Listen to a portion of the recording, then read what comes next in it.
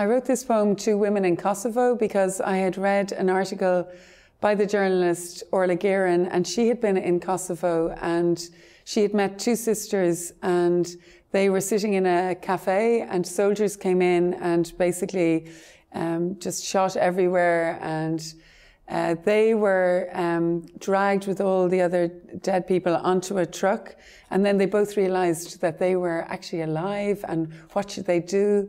And so one sister whispered to the other, Will we jump? So I wrote this poem two women in Kosovo um, about them and for um, Orla Guerin, who I think is such a brave woman. Two women in Kosovo I'm going to jump, her sister whispers, holding out her hand.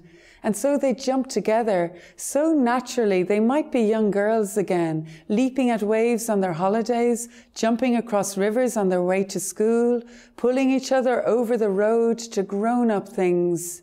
From the side of the truck out onto the rolling dust and scrub, they jump, tea and bread they've just eaten with the others, a thump in their stomachs when they fall. Holding hands tight, they jump.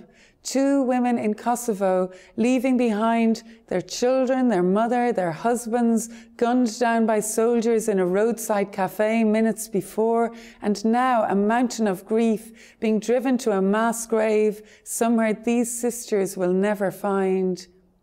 One looks back for a second, feels her whole life piled ugly there, feels it was beautiful once, the pull of her man reaching for her in the middle of the night, the bitter pain she knew when her four year old left her for his first day at school, her mother calling her back home on a cold winter's night. Luck chooses where we are born, passes us through life unscathed by violence.